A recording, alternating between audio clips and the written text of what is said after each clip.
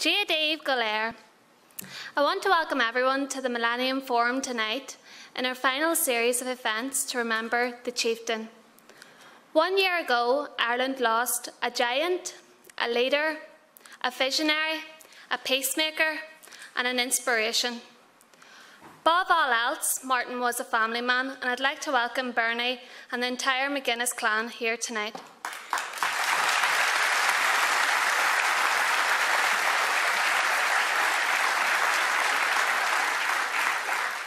I hope that the McGuinness clan can take some comfort from knowing that Martin touched the lives of so, so many people, and we all seen that yesterday by the thousands of people that attended the Chieftain's Walk.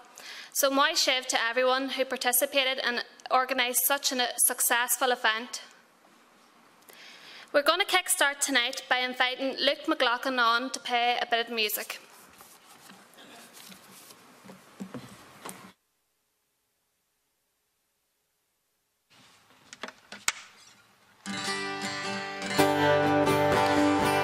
How you doing, folks? My name is Luke McLaughlin. It's a pleasure to be here. Let's start off with a wee song by Bob Marley.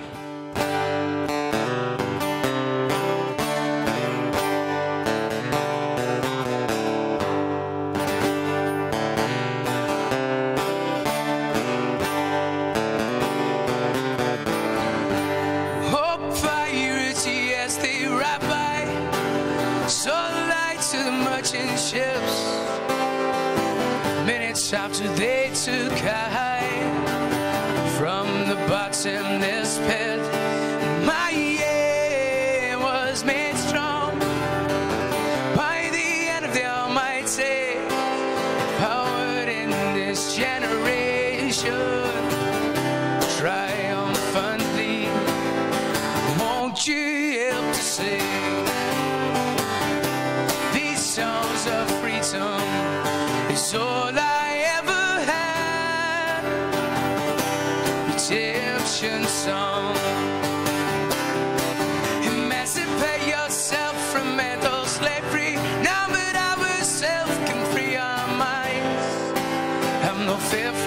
atomic energy, cause none of them can stop the time.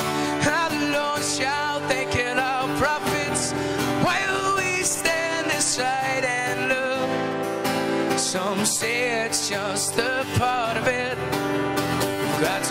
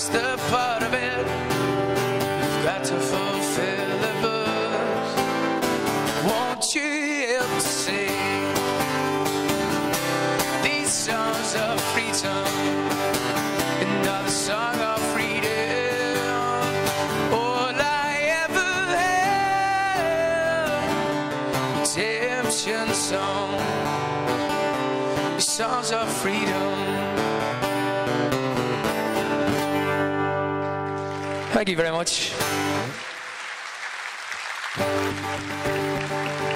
So this next song I'm going to play a song called Something Inside So Strong. And sing along if you know the words, please.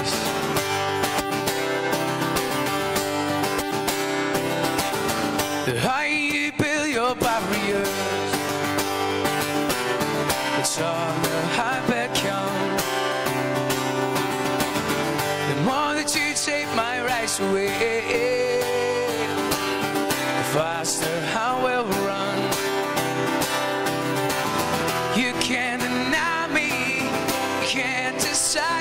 turn your face away, no matter cause there's something inside so strong. I know that I can make it. But you treated me oh so wrong. Thought that my pride was gone. Oh no. Something inside so strong. Something inside so strong. The more you refuse to hear my voice, away, away, away, louder I will sing. Yeah, beyond the walls of Jericho, away, away, away, life will come tumbling. See now my place in time, squander wealth that's mine. My light will shine so brightly it'll blind you. Something inside so strong. I know that I can make it, but you do me wrong so wrong. Thought that my pride was gone, oh no. Something inside so strong. Something inside so strong.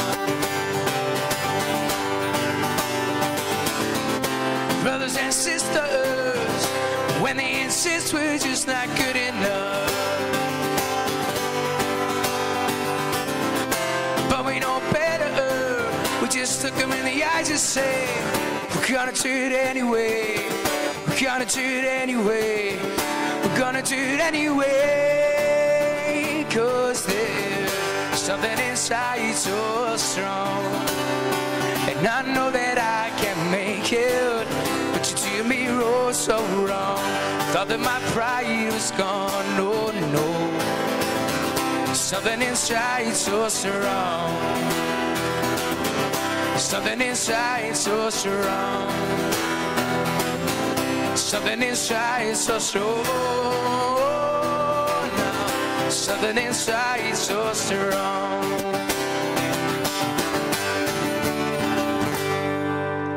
Thank you.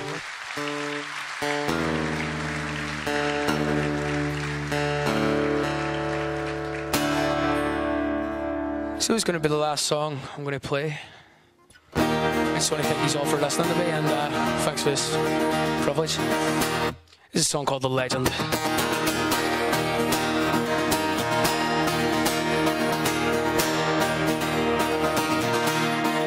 Oh, well, I went to see a legend just the other night at the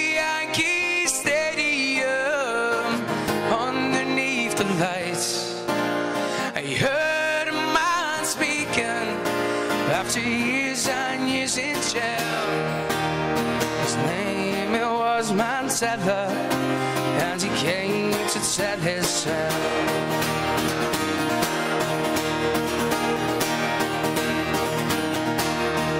Oh, well, the crowd, they cheered him loudly, but then the silence fell as he spoke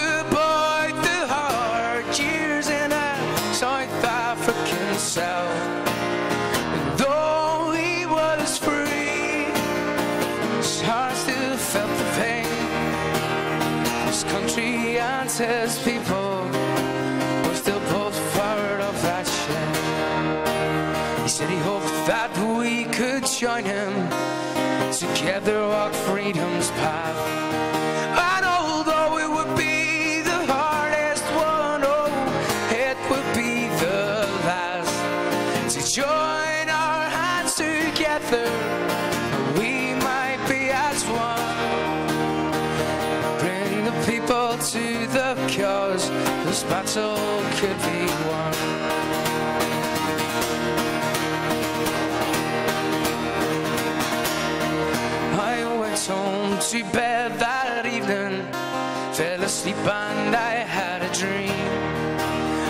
standing in the pouring rain in an Irish fields of green, and saw the royal headstones the martyrs of the past stood in solemn silence, and they spoke to me at last.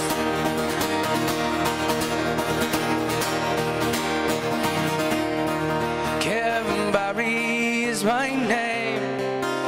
Was tortured in a cell. They wanted the names of my comrades, but of this I would not tell. And I am Roger Casements, but showing on to sun, bringing those German rifles to the lonely Banna Strand.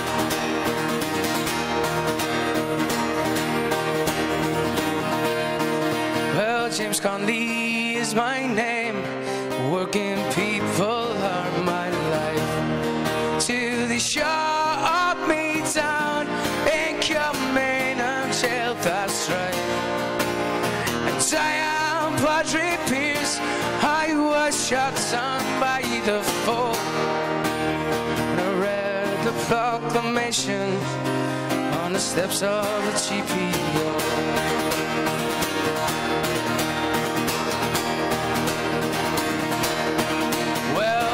Well, voice that I heard, he said, My name is Bobby Sands, and it's good to hear my sailors' word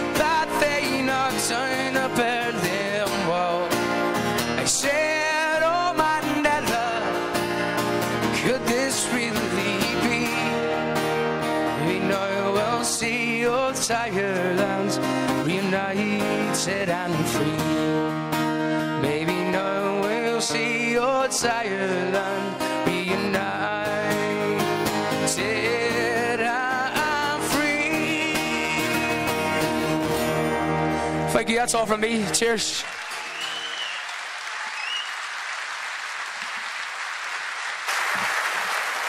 Hi, hey, look.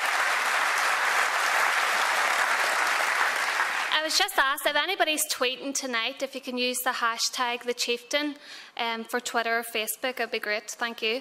Um, now it gives me great honour to introduce two stalwarts of republicanism.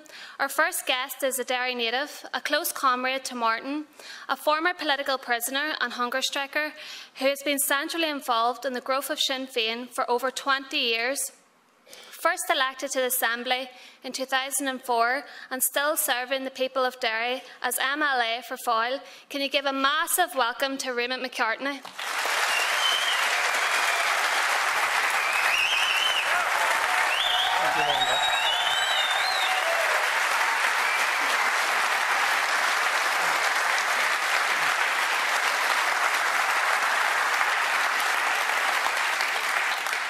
Second guest is a giant of modern Irish republicanism whose leadership, alongside Martin McGuinness, has guided Sinn Féin to the strong All Ireland party it is today. President of Sinn Féin since 1983 until he stepped down recently, he has defined politics in this island for generations. It gives me great pleasure and honour to introduce Gerry Adams.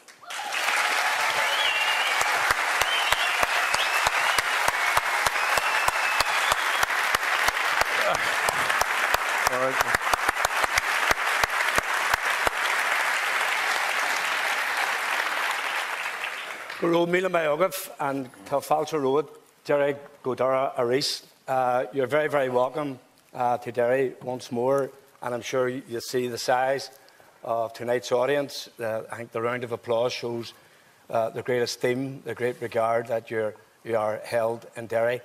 And indeed, tonight is the culmination of a, a number of events as we uh, remember uh, on the first anniversary of his death, obviously Martin, a great friend and comrade to us all. But certainly, I think most people look on and would say that the friendship that, that you've had is unique in politics, perhaps throughout the world. I think people sometimes compare to the relationship that Nelson Mandela had with Walter Sisulu and uh, Oliver Tambo. So that's the type of friendship that we're hoping to uh, explore here tonight. So, for my first question, uh, since Martin's death, I've heard you been interviewed on a number of occasions. I've attended a number of public meetings uh, that the party has held, indeed a number of private meetings.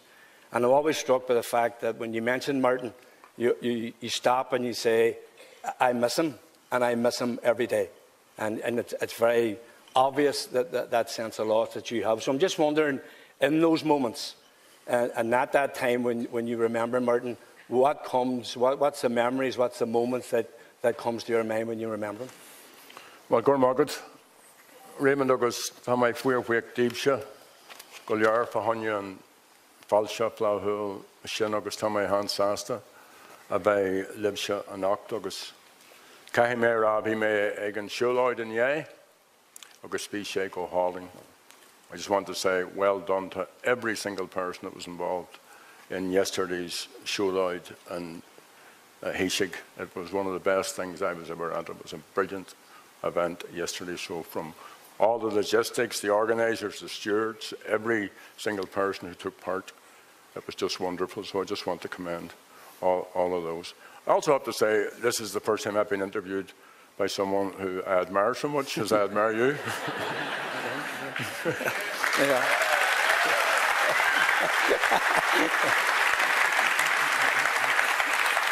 the, the the from the walk yesterday, just by the way, in case you're wondering. Uh, if I get through tonight without crying, it'll be a, a, a miracle. Uh, I was just reflecting on this. You know, in the, in the course of the conflict, those of us who have survived that, we never took time to grieve. You know, you're just going from one event, from one funeral, from one incident to uh, another. And perhaps whole generations of families never had the time to uh, grieve. And I think what's really striking about uh, Martin's death and the effect that it has had is that, first of all, and there's nothing we can do about this, it was so unfair. He was looking forward so much to coming out of that position. And, and why wouldn't he? 10 years with Ian Paisley, Peter Robinson, and Arlene Foster. and he was really looking forward. You know, five o'clock in the morning, he, he was up most mornings uh, down the road to Belfast or wherever else he was, uh, he, he, was going. And uh, he, he, wasn't stepping back, he was, he was stepping out of that public office, I suppose, in the same way as I was going to step out of the Uachtaráin uh, position, not, not to leave Sinn Féin or to leave the struggle, but to, to do things slightly different and, and so on.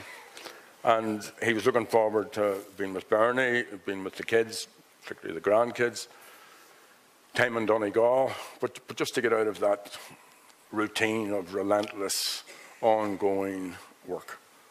Uh, so uh, I, I, do miss him every day, and I, you know, I, I thought at the second Ard Fheis, I, I thought it was a bit more therapeutic, you know, but I found the event in Stormont really emotional when the, the, the portrait was unveiled. I found yesterday's event very uplifting.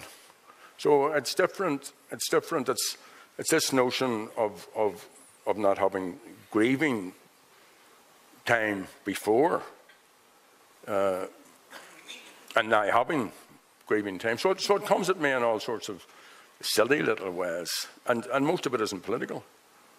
Uh, the Sunday game. You know, I would think of when the Sunday game's on would, last summer, Martin came into my head because he'd be watching the Sunday game.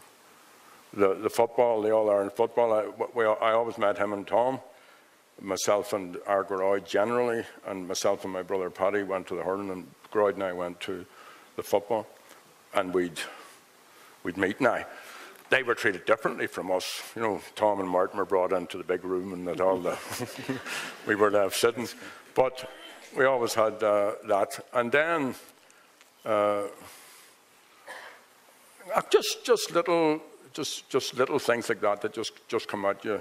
Uh, I spent I spent three days on my own. Clet Clet wasn't with me up in Donegal. Uh, I couldn't get him out of my head for the whole three days. No, and, and for the last years of Martin's life, we, we didn't work together. we, we worked together regularly, but we didn't work together on a daily basis. Like he was, he, he was away doing what he was doing, and I was doing a different type of a, a job.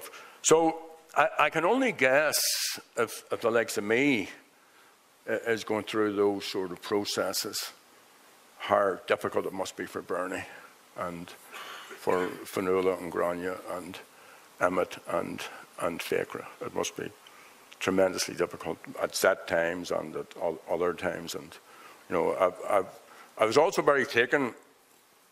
We were fighting the elections, as you remember, the two elections here in the north. And the number of people who said to me, mostly people in their sort of mid 30s, 40s, that they had grown up with me and Martin, always in their sitting room, on the TV, whatever it was, whatever was happening. And the number of people, including people who would be very hostile to us, who uh, were very taken by the suddenness of Martin's death and by the, the unfairness of it. So he, he obviously, he, he, obviously made, made his mark. Uh, and those of us who were privileged and honoured to be close to him uh, share a common loss with many, many, many people who actually never knew Martin but still felt in some way an affinity with him. And uh, as in any friendship, and yours, I think it stretches back well over 40 years, possibly 46 years. I mean, friendships build up over the years, and I, I mean, it's, it's, obvious the relationships you had politically. But can you have you any early impressions of the first times, the first couple of times maybe you met Martin, and what was your your first impressions of him? Well, I, I often say, and it was only when I was talking to you on the way up in the car when, when I phoned you, I often say that I first met Martin in Free Derry behind the barricades. That was actually the second time I met him. Uh, I, I, was in prison, I was interned, and I was released. And myself and Dáithí O'Connell, I, I, I, was taken straight from the prison to a meeting. And we negotiated out the terms of a, of, of a bilateral truce. And, and, part of that was there was to be a meeting between uh, a Republican delegation and uh, the British government. So a, a meeting was, was put together of those of us who were going on that, and that was in Dublin. Uh, Myles, he was a solicitor. Shevlin.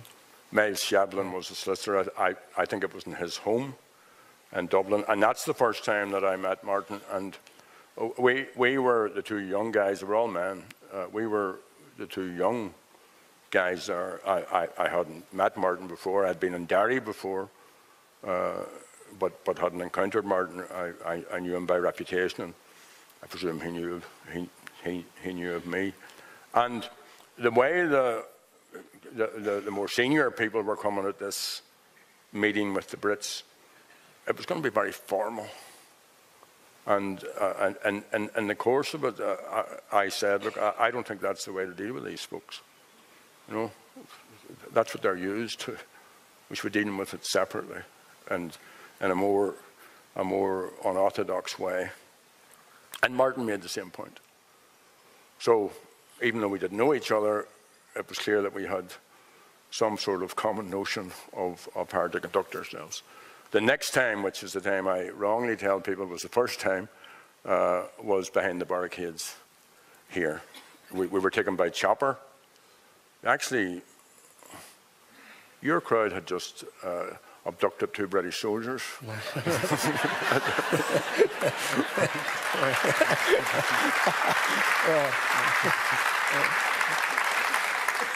the first person in the audience to applaud, and I was possibly the person responsible. I, I, was just left, left as usual to try and sort it out, but there yeah. you go, it's another matter. uh, so there, there, was a wee bit of uh, a wee bit of a stand-up. But anyway, we, we, we, we met in a house and we, we were taken up, to, I think, up, to the back of Creggan and we went on a chopper. and they brought us down to uh, Aldergrove. And Martin always tells this story. I doesn't always tell it, but he, he used to tell it, right? When, when we were walking up the, the gangplank into, into the plane, it was a British Air, Air Force plane, right? And the guy was there in full uniform. He saluted Martin. and he, he just nodded at me. and then uh, we were then taken to a British military base, which really interestingly, 40 years almost later, uh, when we went off over the talks in Leeds Castle or someplace in England, that was the same base that we were taken back home from. And both Martin and I recollected that, that there was this gap of whatever it was, 40 years in between. But anyway, uh, Seamus Twomey was there and, and so on. And Seamus smoked at the time. And we were going through a little place, something on Thames, and there was a big regatta on. And Seamus had run out of cigarettes and he wanted uh, to go and buy cigarettes. And away he went. And uh, Martin and I went for a walk. And Seamus got lost. And, and the whole thing was a whole, a whole crisis thing. And then we went and we met, uh, we met Willie Whitelaw. And uh, we, we, we had an interesting enough discussion. He, uh, I, I recall he was very, very nervous.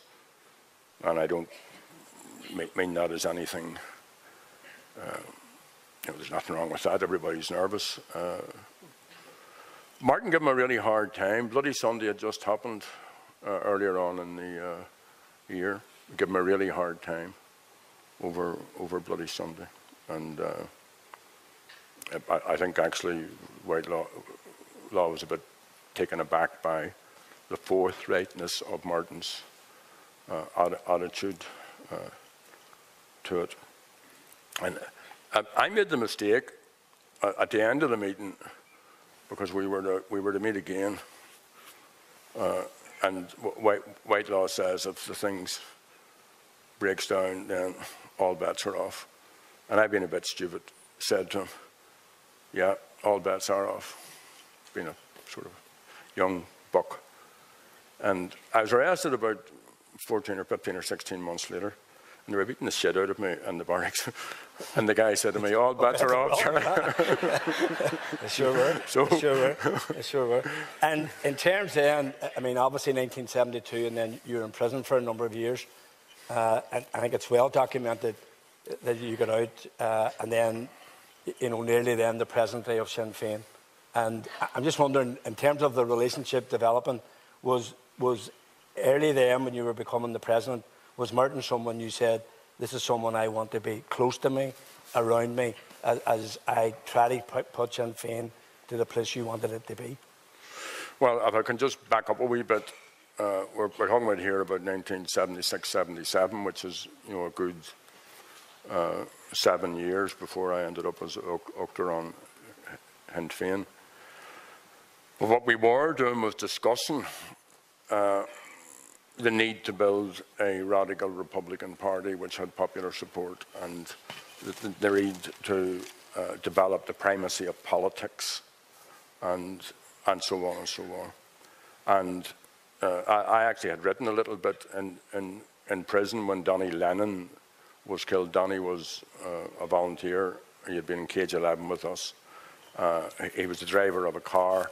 He was shot dead, and the car uh, knocked down uh, Mrs. Maguire and her, her children, and they, they, they were killed, and the peace people come out of that. And I remember writing at that time a little, a little pamphlet uh, about peace.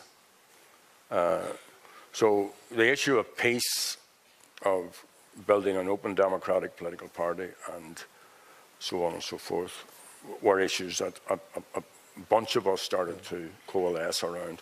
And I, I have to say that uh, Mitchell McLaughlin played a key leadership role in some of the processes. He was very upfront, uh, very provocative in terms of putting the hard questions before us.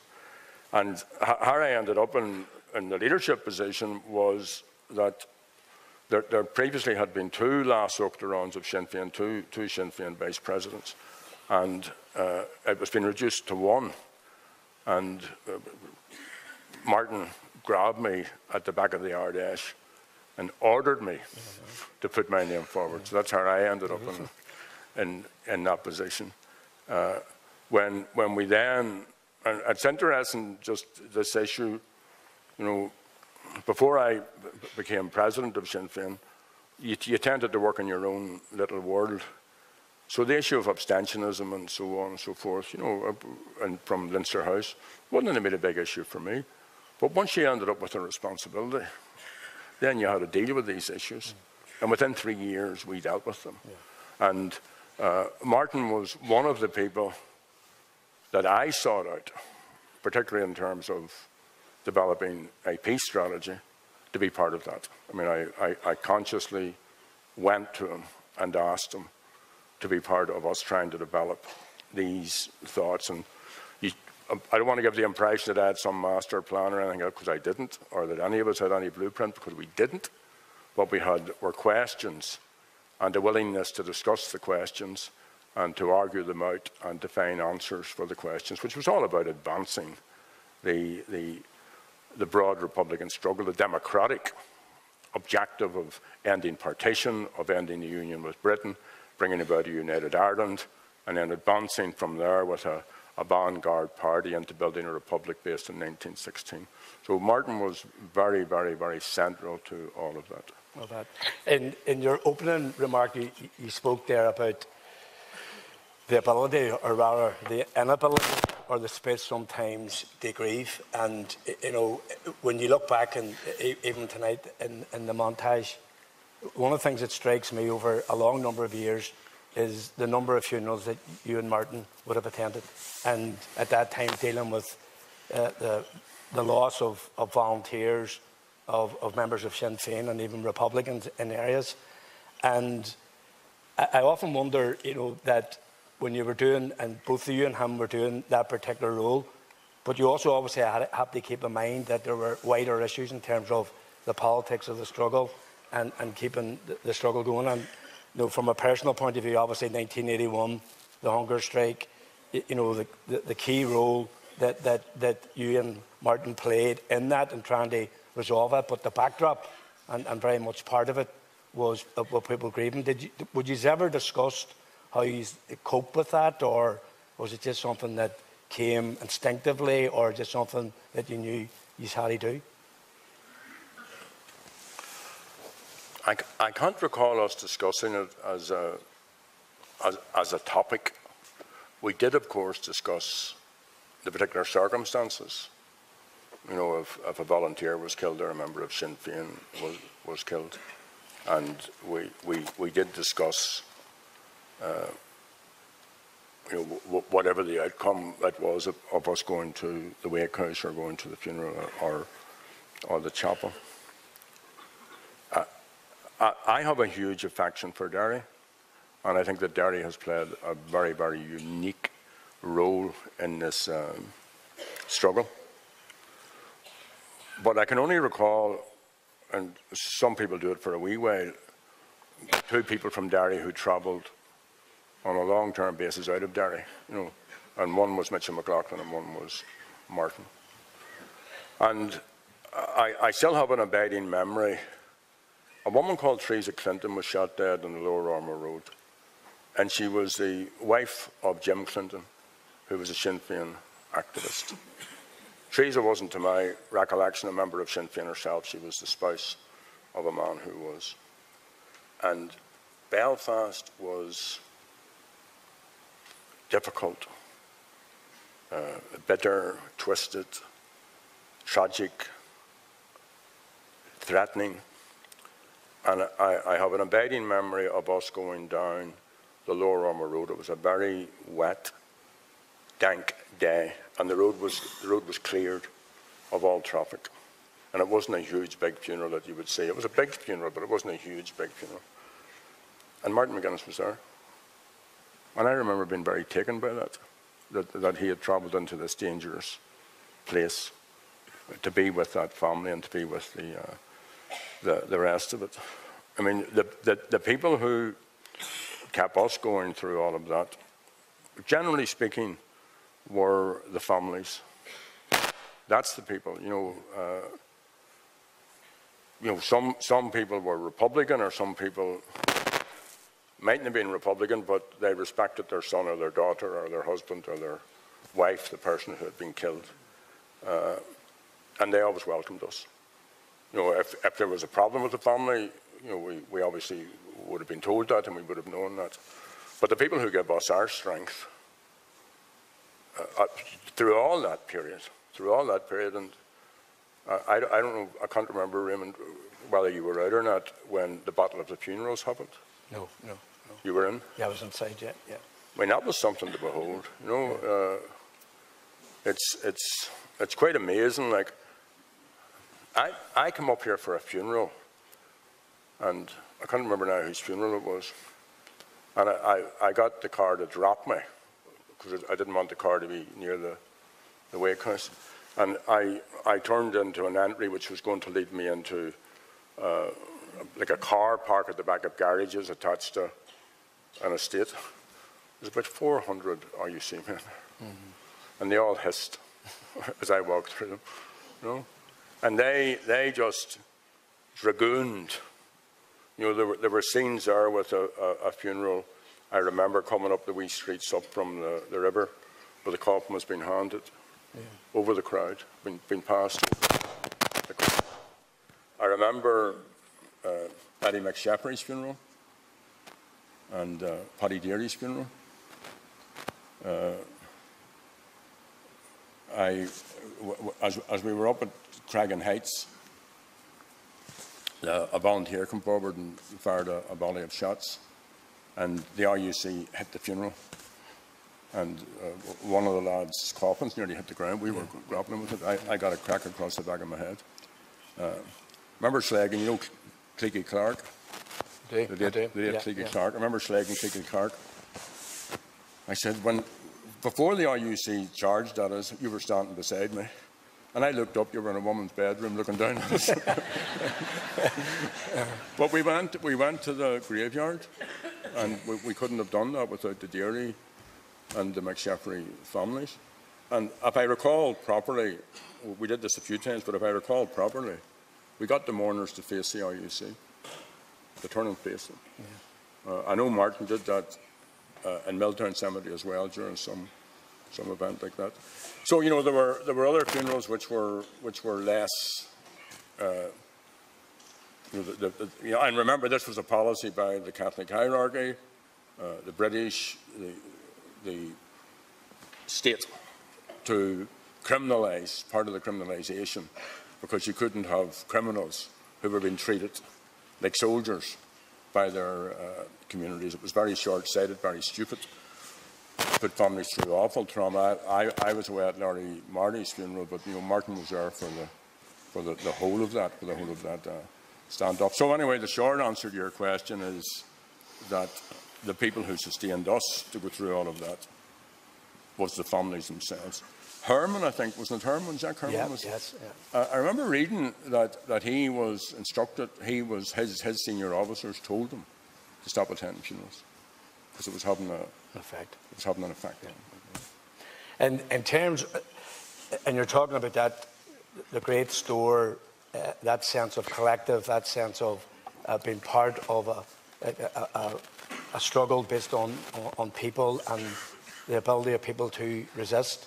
But there's absolutely no doubt, and it can be a, a bit of a cliche, but, it, but it's also true that leadership at times can be a lonely place because ultimately uh, decisions have to be made, and particularly in the struggle that we were involved in. And you've already reflected on you know, abstentionism. You, you could say the advent of the peace process, the Good Friday Agreement, uh, dealing with the issue of arms beyond use, and even policing and justice.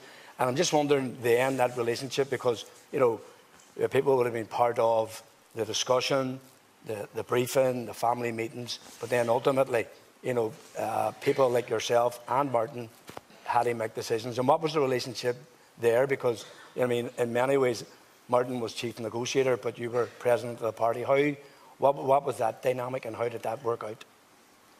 It worked out very well, uh, and we got better at it as as we as we went on. Uh, it was quite unique. I, I think one of the unique things that happened, and it's just an accident, was that for 10 years, the leadership of republicanism and the leadership of the British government remained constant. The leaderships of the SDLP, the Unionist parties, the Irish government, the American White House, they all changed. But there was Blair, there was Powell, there was Martin, and there was me, and others. Now, I mean, I believe firmly that politics has to be about empowering people. Uh, so I've always been a team player. I've always seen myself as a team player. If I bring any sort of talent to it, I, I like to think my ability to build teams and to shape teams and to build the collective. So broadly speaking, a lot of uh, our decisions were collective decisions and we would reach a consensus on, on, on it. Uh, when I said earlier that, that we got better at it, you know, uh, there were some issues which we, may, we, we, we wouldn't have contemplated.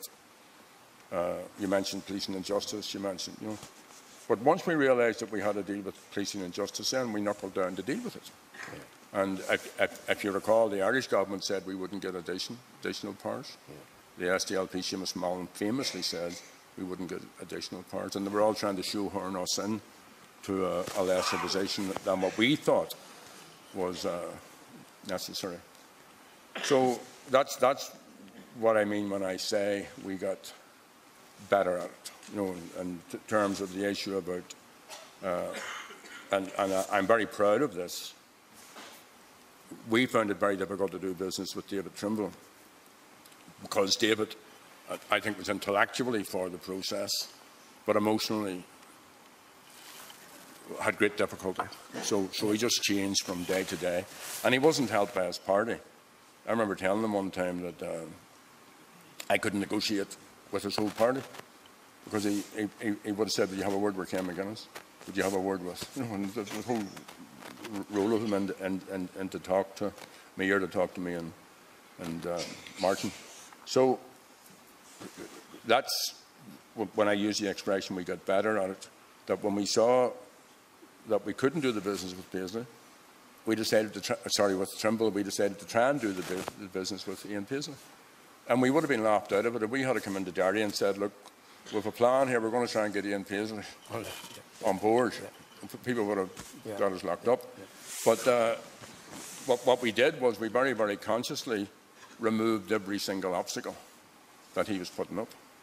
And I remember very, very well, we met Blair, we, we, we, we thought we had Paisley at the basis at the point where he would do a deal.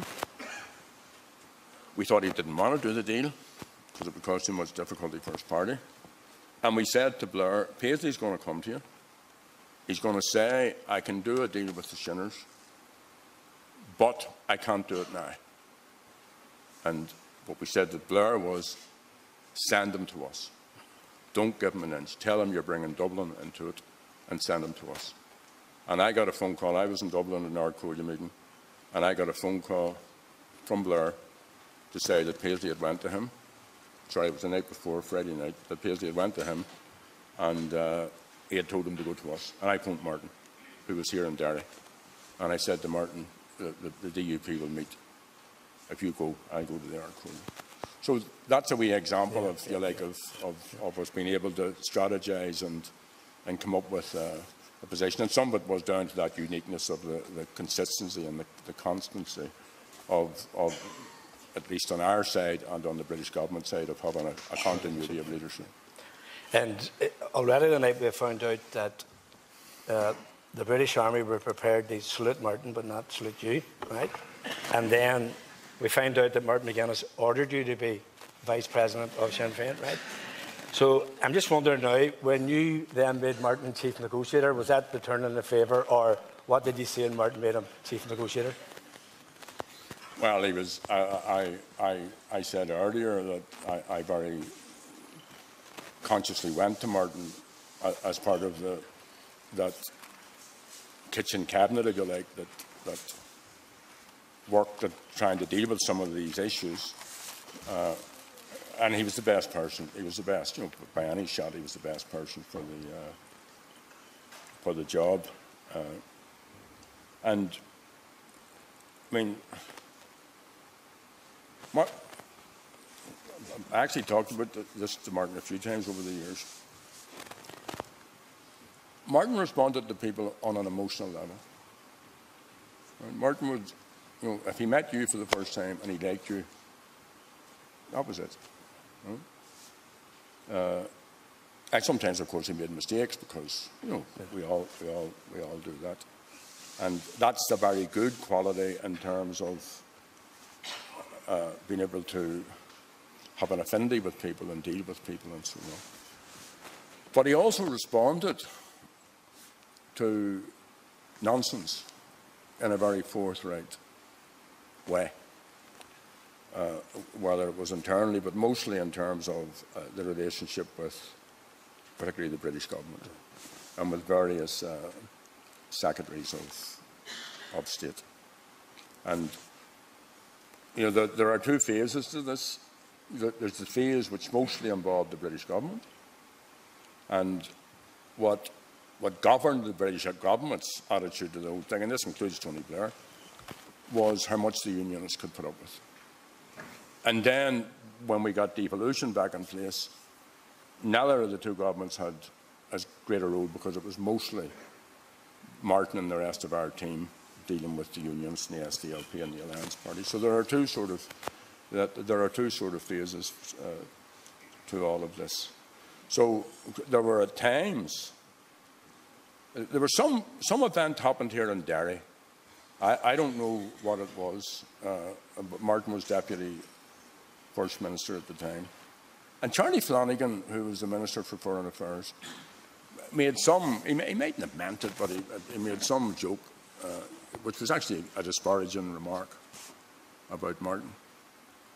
And then we come back I, I wasn't at the event, but we, we, were meeting with the Irish government, we were meeting with Charlie Flanagan in Stormont one day, and we did our business. And then Martin, in front of every, everybody, went through Charlie Flanagan for a shortcut. Just yeah.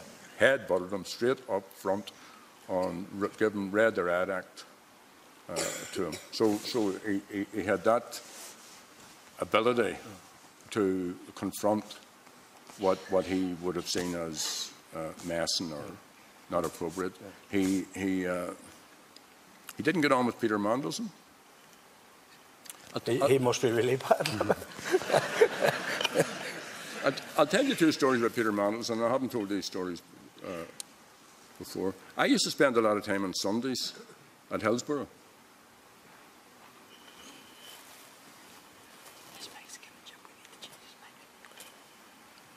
My beautiful continuity uh, assistant has informed me that there's a slight fault in your microphone, so they're just going to come out. Was I talking to myself?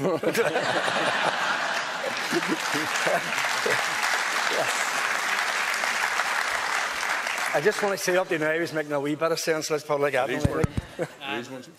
Want to just swap us on? Right. All right. Well, that was nice, Raymond, just the two of us sitting here. they heard me. They definitely heard me. I heard them laughing a few times at me. Are we on now? That, that guy that came out there is Richard McAuley, right? So, uh, uh, way back in the day when you were making speeches at the Ard Fheis, can you hear me? Yeah. Uh,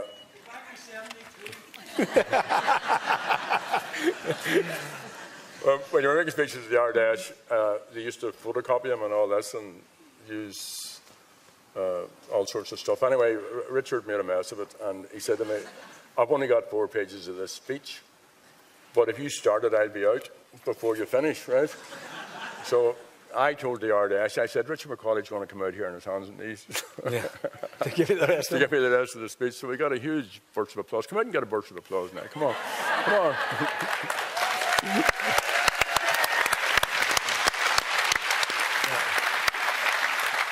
Uh, you spoke there. I, uh, I mean, anybody that knows Martin or anybody speaks of Martin, like Martin was obviously a very you know, very warm, generous, as you say, uh, very, always was empathetic uh, towards people. Indeed, th- there was nights there when Martin would have tweeted out, he was out walking with buttons. We used to all hold our breath. We were bound to get a phone call saying, I met a wee woman tonight and she needs something done. So that was, the, that was his, his nature. But at the same time, you, you have talked about that, that resolve, that, that, ability, that when he had to you know, face people down, particularly uh, during negotiations, he, he had it, and you've told us a number of examples. But in all of that sort of times of like the high wire political stuff, was there any, if you like, moments of light relief where perhaps you know the unexpected happened, or you know people, you know, because I think sometimes to keep yourself sane, you need a bit of levity and, in, in things that you do. And have you any examples of Martin bringing that to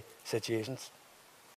He spoke at uh, he, he, he spoke at an RDS about three years ago, and we were having some difficulties with, with the unionist. And he said, "I used to go up to my granny's. That's how he started it.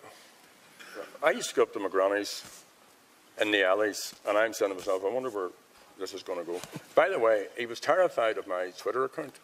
but anyway, he said, uh, I used to go to my granny's, and we'd spend the, the summer there, and we'd be cutting the turf and coming back and on top of the big uh, trailer behind the tractor, and it was great. And one day, my granny uh, lifted up a chicken and set it down and cut its head off with a hatchet. And she set the chicken up, and the chicken ran all around the street. he said, I was at a meeting with the unionists the other day, and it reminded me of that. Very good, very good, very good, very good.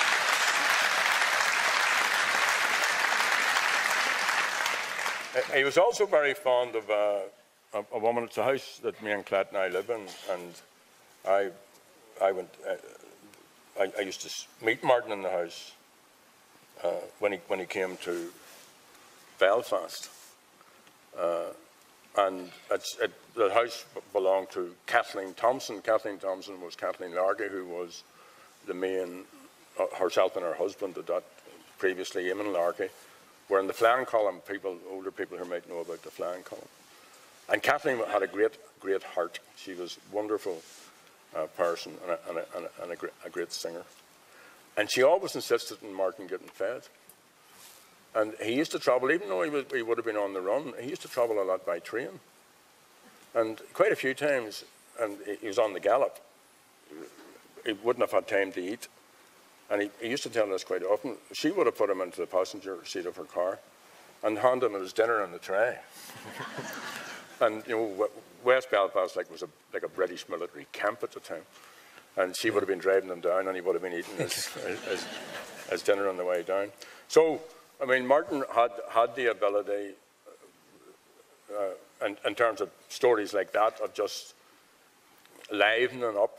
Uh, I, I remember Sean, Sean Keenan, young Sean Keenan, died, and uh, the Keenans were, were, were very great friends of Martin Iles. Sean, I'm sure he was a good, good friend of yours as well. Uh, there, there's actually a very touching photographs in terms of a lot of these photographs where Iles Sean and young Sean and somebody else, I forget who, who, who, who it is, and Martin and, and Phil O'Donnell was Phil O'Donnell, yes, God rest him. And Al John's actually holding Martin's hand. It's a very touching sort of uh, photograph. But anyway, poor old young Sean died, and Martin came down, and he was given the oration at the funeral, and you were there. Yeah, yeah, yeah.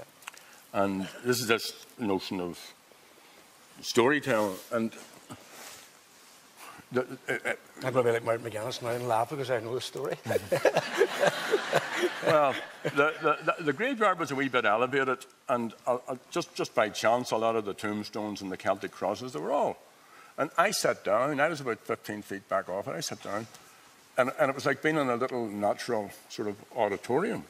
And it was a nice day, the sun was, was, was shining, and uh, Martin was talking about Sean, and of course, famously, Sean's brother had introduced Bernie and Martin a way back, uh, the lad who was killed.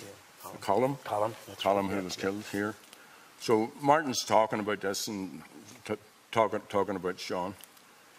And he said, you know, one, one time there was an incident at the barricades on the uh, Road, and uh, a number of volunteers were sent down to sort it out. Apparently, there was somebody down there stripping the metal off a bus that had been put on the barricade. And the person had a, a donkey and cart. And he was putting this, whatever it was, copper or whatever it was, in, into the cart. So the volunteers arrived down and said, You're not allowed to do that. That's here for the defence of the people of Free Derry.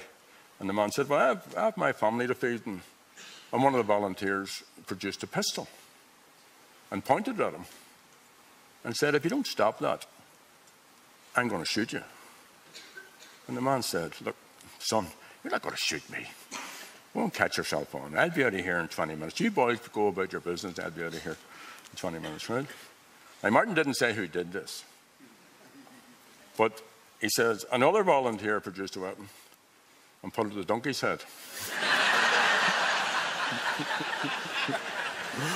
so, uh, so anyway, here we are at this funeral of this guy who we all knew and loved. Sean Keenan was a great character and a great he, was, he, he, he, lived in West Belfast for that period of his life and he was greatly loved by all of us. And Martin was livening the thing up just by telling this, uh, this, this story. So he had that capacity, as I say, to storytell and uh, lift people. Uh, a couple of no, V2 at Cangsfree, uh, Martin ag fire air and, and Sunday game. Well, via sig agan den a go sim more, grab more le Martin le clic Gaelic, so am ro Imriach uh, ribsa uh, leis faras dora agus faras intran am nuair ví tú ag cans faoi uh, Gaelic games. Yeah, well, uh, ahan blian ag an uair seo. Ahan blian nuair a bhíimeid ag uh, Cor Martin Keist. Who's going to win the hurling? Who's going to win the football? August. Who thuimiid you know, ar fod an siomra agus you know, Mayo, Dublin, Derry, Tyrone, whatever. Uh, agus bí sem mór. A bhád a bhád hen nuair a uh, well couple of couple of ruddy sort of gra well níl grammar iad but cean cean rud brúnach. Nuair a bhí an Sam Maguire an seo, níl sort an ceanú an úsin, but bhí sé 93. 93, Tamil Fado Henry Encore. Anyway, uh, Big Brian McGilligan as Dungiven pi sé gober an sin ag an Cragan. So fur mé gansaí dura agus thug mé é de bran agus fur sé na imethirí uh, anam a sinú ar an gansa. So dúirt méid lom féin. Uh, méid sin de Martin. sin sort of blianú. Huh? bí sé uh, a teach teach sogmasa sa cófra agus rinn mé armid faoi rinn mé armid faoi rinn mé armid faoi. Agus nuair a, a fur sé sin uh, thuí mé go dtí an seapa agus fur mé fríam mór agus chur mé chur an seapa gansa agus thug mé é uh, dé an fécra stole it, if I remember rightly.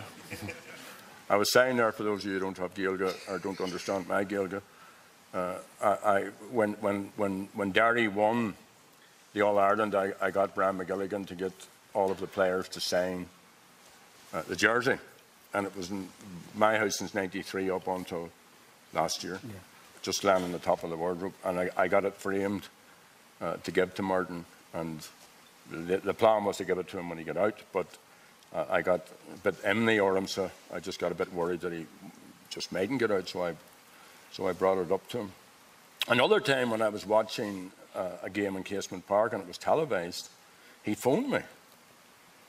And he said to me, I've noticed every time there's a point or a goal scored against Derry, you're applauding.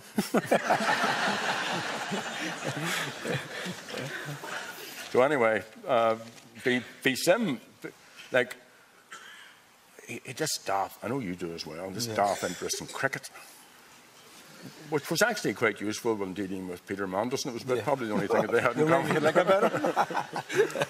but uh, no, he did. He did. He, he, was interested. Yeah. Like the rest of us, if Ireland was playing Tiddly, when he'd be supporting Ireland.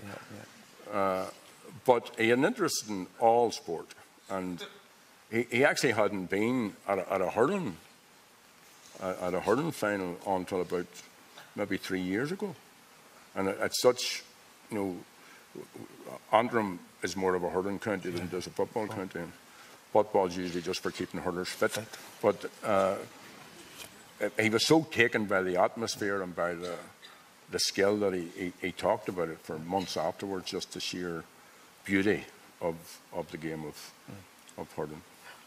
One of the one of the iconic photographs, I'm sure it's in that montage, is the photograph of Bernie and Martin with uh, Nelson Mandela. I think it was at the Special Olympics in Croke Park when they were here. But uh, what was the relationship uh, like with yourself, Martin, and particularly uh, Nelson Mandela? Well, Clet was with us as well. There are two sets of photographs. I'll tell you another wee story. Maybe I shouldn't tell you this, right? Barbara de Brún and Gerry Kelly got their photograph taken with Nelson Mandela. And the two of them were standing each side of him. And I went to Gerry Kelly's house, and it was just him and Mandela.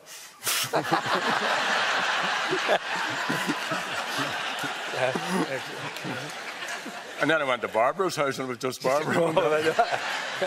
but anyway, there's two photographs. Yeah. There's, there's a photograph of me and Martin and Bernie and Clet uh, and Madiba, and then there's separate photographs. But is this true? When we went in to see Mandela, the two of them started crying. Clet and Bernie started crying when they saw yeah. Uh, Mandela. Yeah. Uh, Mandela was. Uh, Mandela was. Uh, I, mean,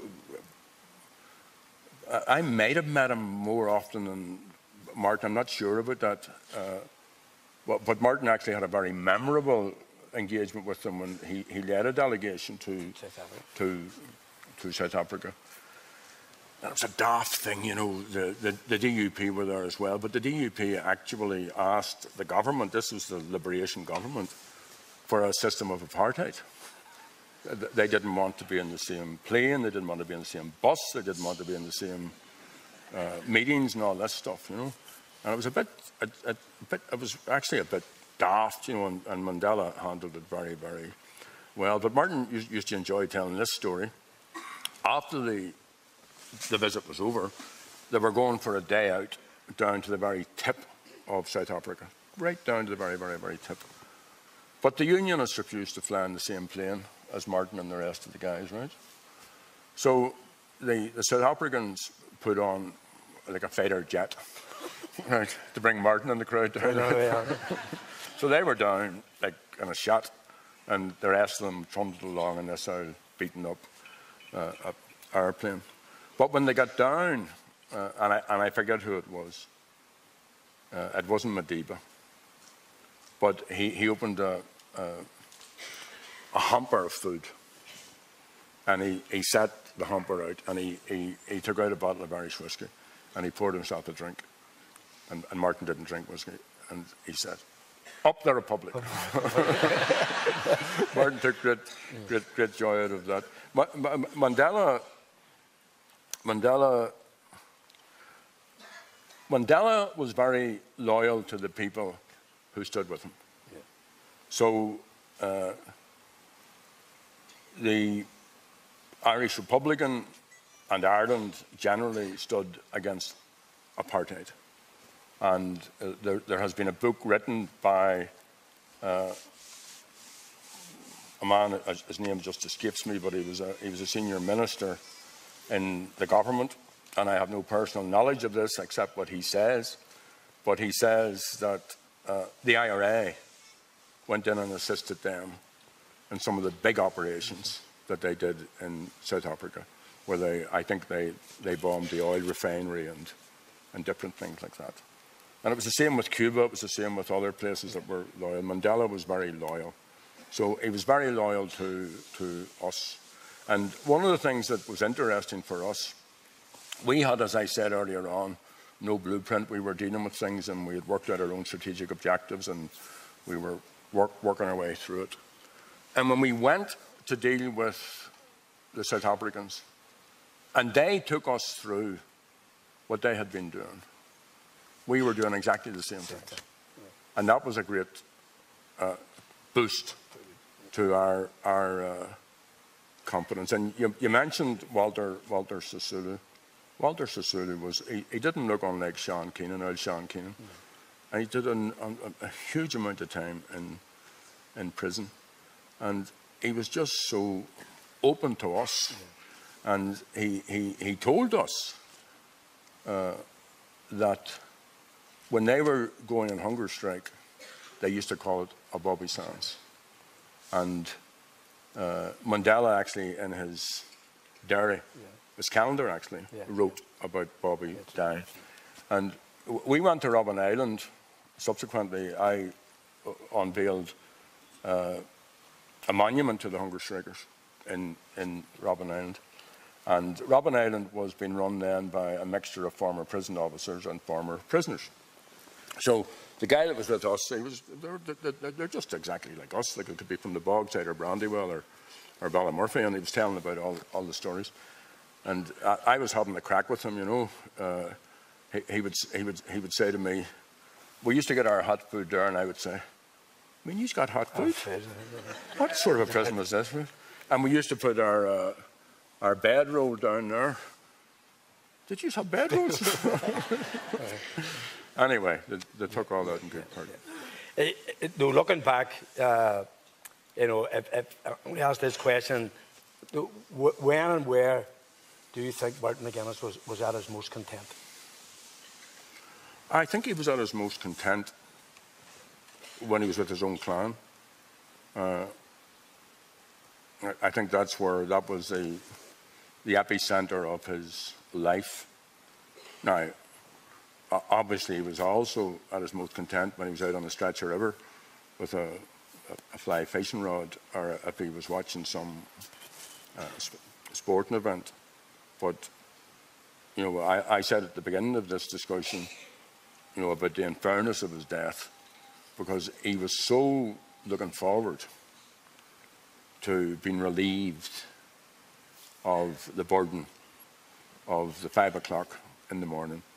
And, and you said earlier on about the loneliness of, uh, of, of leadership. I mean, I, I came out of this position, and it was part of a plan that, that we put together collectively in terms of the regeneration of our party. And I think we're going to be extremely well served by Mary Lou McDonald and by Michelle O'Neill and by uh, all the other people who have come, into leadership roles in, in recent times. But I'm going through a period now of relief, just of relief. Now, I- I've also, I also go with the flow. Everybody I meet says, uh, you know, enjoy your retirement, or you know, and I, the, for the first week I used to say, well, I'm not retired, but then I just started going with the flow and saying, well, thank you, it takes too long, too complicated to tell. But uh, the relief of not having to deal with the mundane, tedious things that happen, the, the, the relief of not having to be across everything. See, everything, everything lands on your desk. So you have to be responsible for everything. Just that relief of, of, of not having to do that.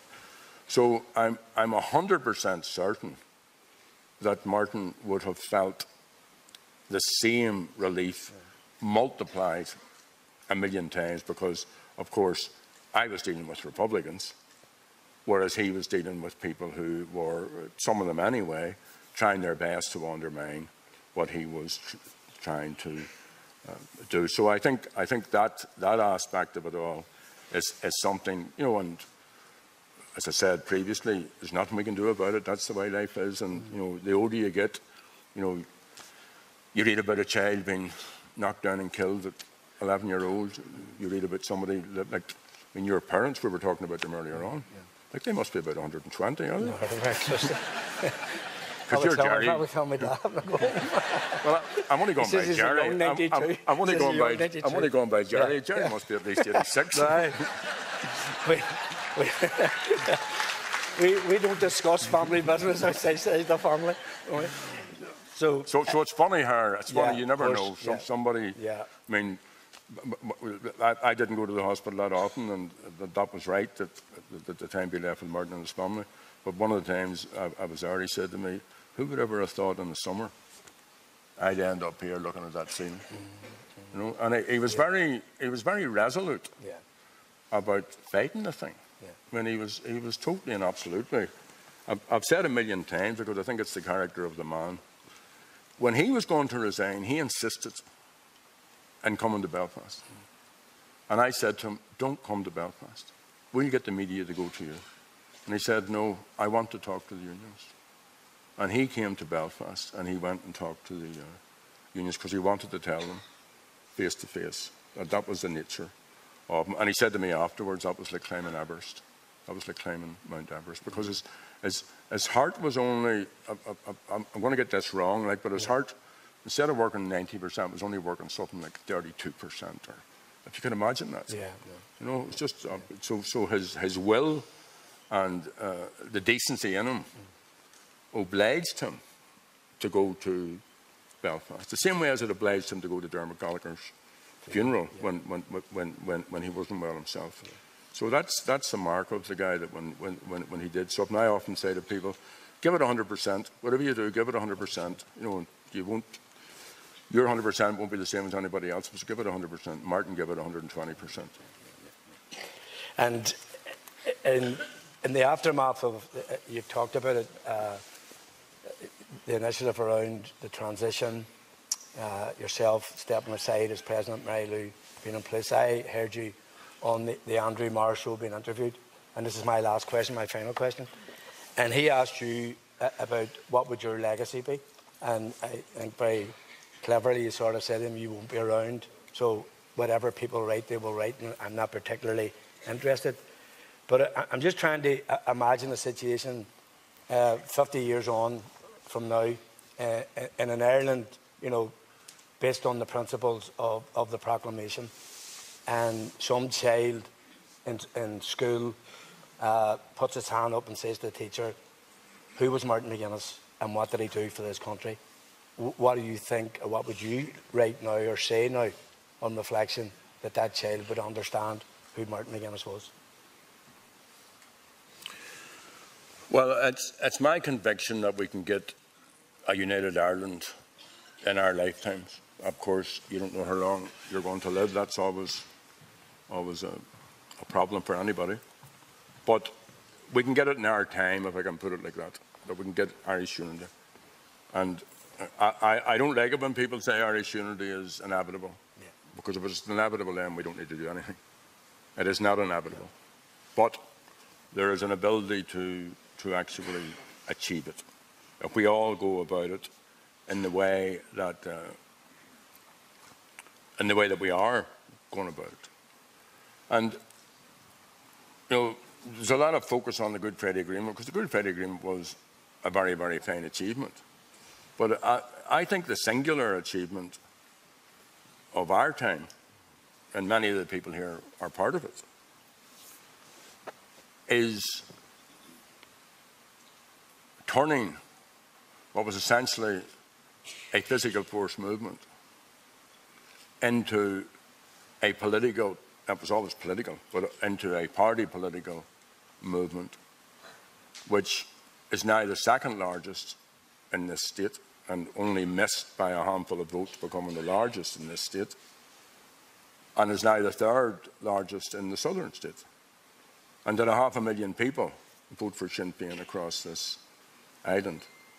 So I think that's the, the, the single huge achievement because it's only by building that political party that you're going to bring a united Ireland, but more importantly, I suppose, because it would be a great thing to have an end to partition, a great thing to have an end to the Union, but to actually have a real republic based on the 1916 proclamation. And, you know, Martin would be the first to say it. It'll be all the small women and all the small men, all the people here who have, you know, I was slagging about your parents, you know, but, you know, all they, they have kept the faith. Yeah. All those people that, that opened up their hearts and their homes and, and, and saw their way through all of the difficulties and stayed, focused. And then we're magnanimous, you know, that, that are prepared to reach out and embrace our unionist neighbours on the basis of equality. That, that we don't want a sectarian state. We don't want to do to them what was done to us. And sometimes people say to me, young people take this for granted. And I always say, that's great. I think that's great. Because it is actually impossible to tell anybody. Uh, I brought friends from Palestine, I brought friends from some of the Latin American states, I brought friends from South Africa to West Belfast, and they travelled to Derry and places like that. And they were absolutely appalled and terrorised by the density of the military occupation. They never saw anything like it in their own place at that time. Now, I do think that what's happening in Gaza is much worse than anything we have experienced, but I'm talking about the, the, the late 70s and, and the 80s. And I think it's great that our young people don't have to experience that. So, on, on, on the one hand, being part of the transformation to build a vanguard Republican Party which is ideologically committed to bringing about the type of republic that the people deserve. To work a way out of conflict into peace. And then eventually, when, when we get a referendum and we win a referendum on uh, unity, Martin, with all the other people, and he, he, he wouldn't like, and he, he wouldn't like to be sort of, you know, singled out and said that this is all down to him. But a huge amount of it is down to him. And what a lot of people take for granted now would not have happened if it wasn't for Martin McGuinness. So his legacy as a New Ireland.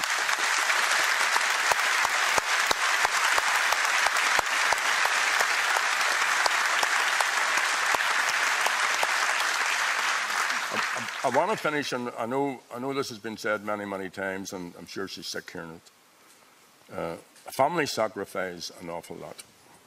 In your family, my family, the families of activists, and uh, Bernie, and the, the four children, or adult children as they are now, and all, all the grandchildren.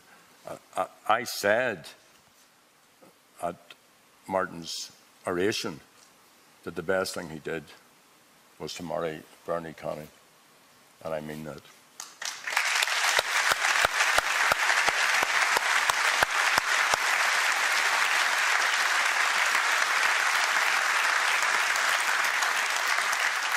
Terry, can I thank you for, for coming tonight and sharing your thoughts? Oh, very much us. Thank you very much. Thank you. Thank you, Adam.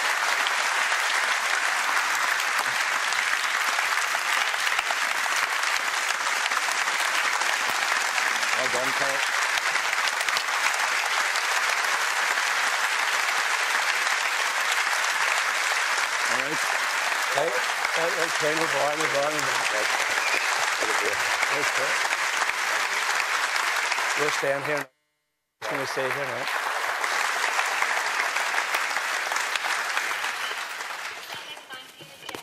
There's more bugs in my yard.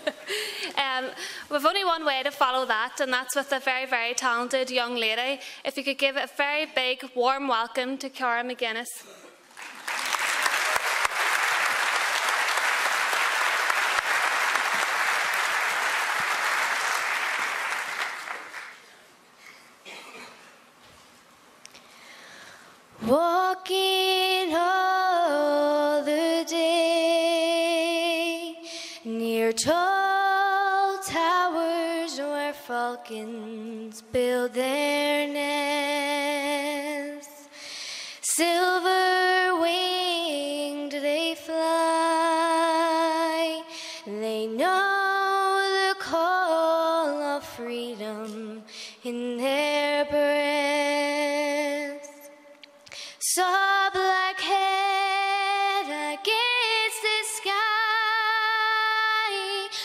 Twisted rocks.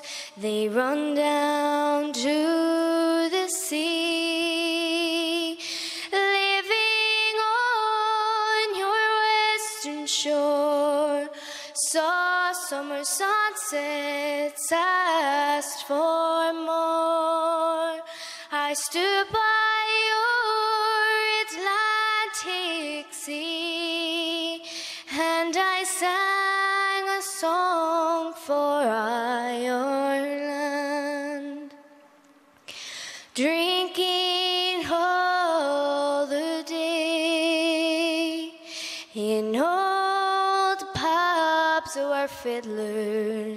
love to play. Someone touched the bow. He played a reel. It seemed so fine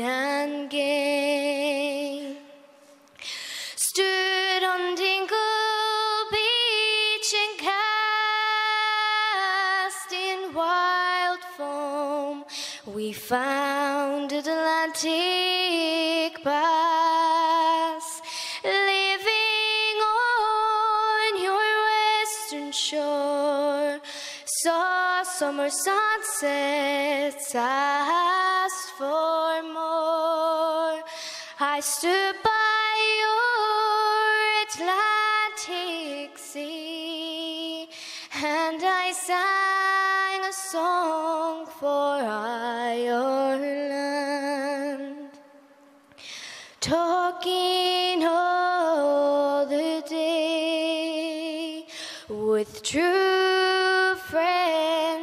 try to make you stay, telling jokes and news, singing songs to pass the night away.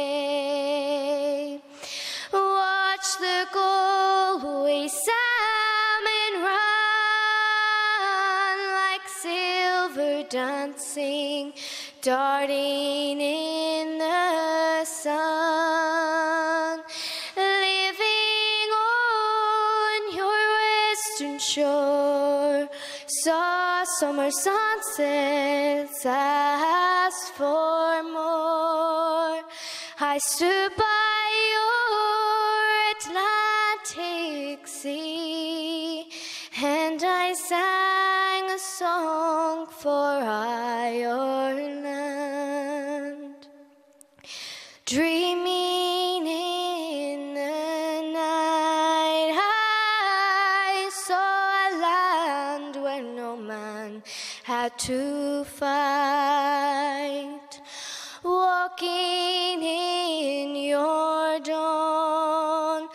I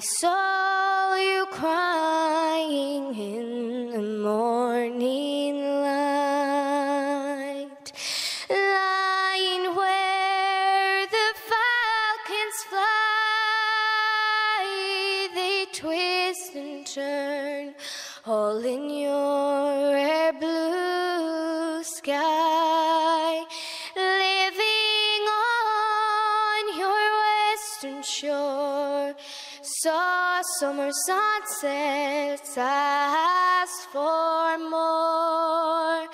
I stood by your Atlantic Sea and I sang a song for Ireland.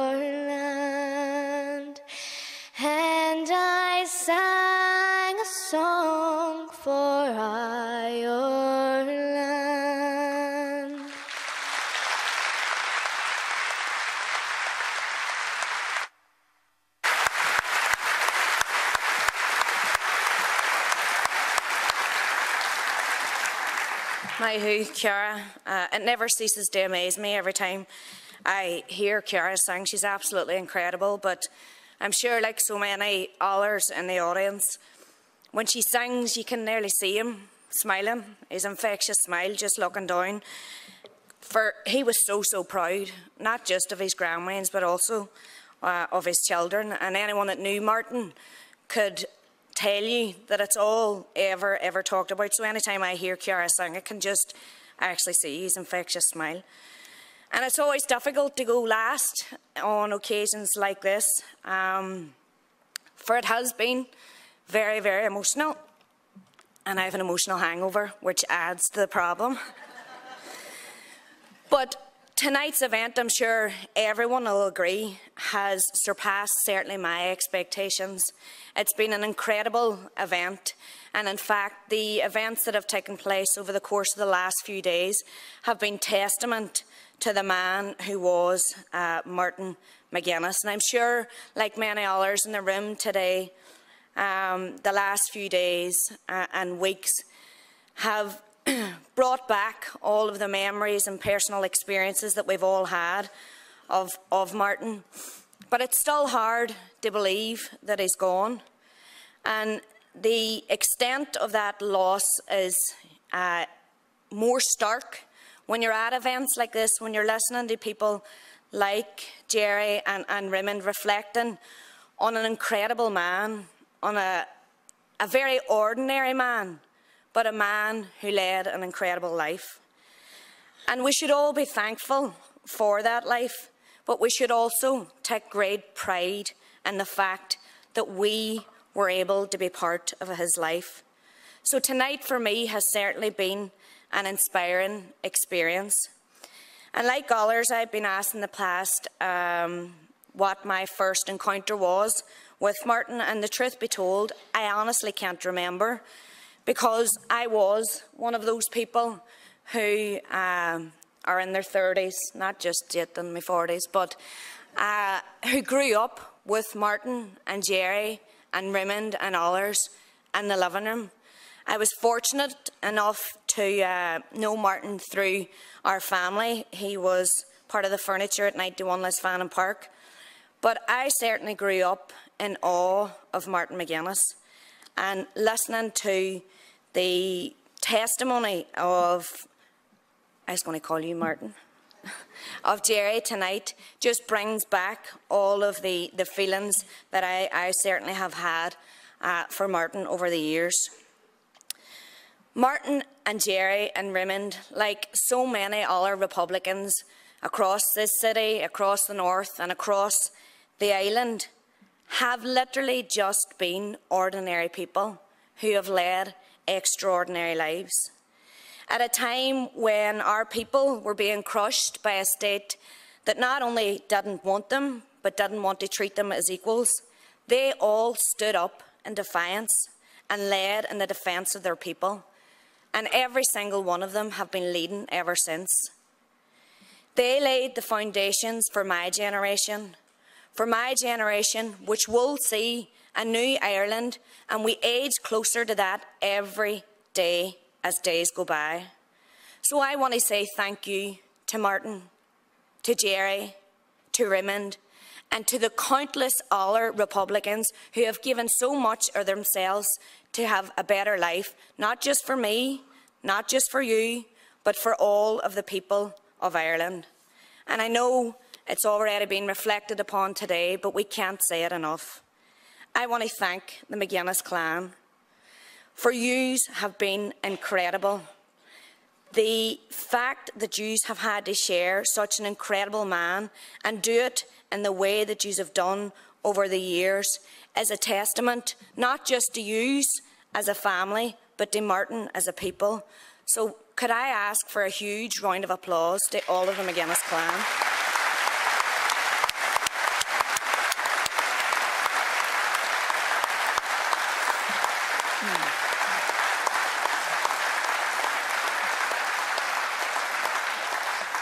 As I said earlier on, Martin's love for his family was evident for anyone that ever met him. And like many others who seen the image of Dulta last week in Fiachra's arms, stretching out to touch his grandest face, this powerfully symbolises that that bond will never break. For Martin's spirit clearly lies within all of his clan, and his determination to create our new Ireland lives in each and every one of us who have to pledge once again to make his dream a reality. That is our goal now, and it is the most fitting tribute that we can pay to our chieftain, and we will achieve it. We are closer now than we ever have been, thanks to the sacrifice and achievements of people like Martin. So, Go raibh maith agat, Martin, the rebel may have gone, but the flame he lit certainly burns strong in us all. Grammy Margaret.